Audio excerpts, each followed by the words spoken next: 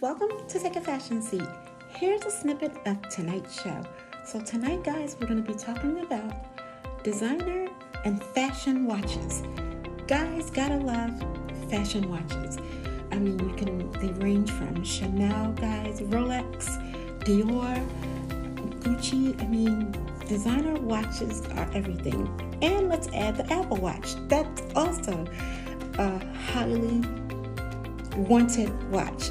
Um, my favorite one is Badgley Mischka. Of course, I have like three favorites, but this one is one of them.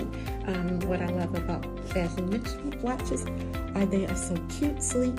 See this one up close, um, and they look amazing when you open them up and put them on your arm. So, gotta love fashion and designer watches.